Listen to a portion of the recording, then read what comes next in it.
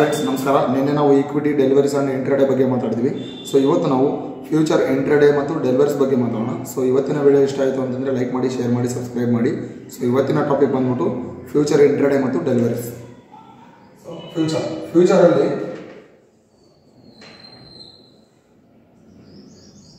intraday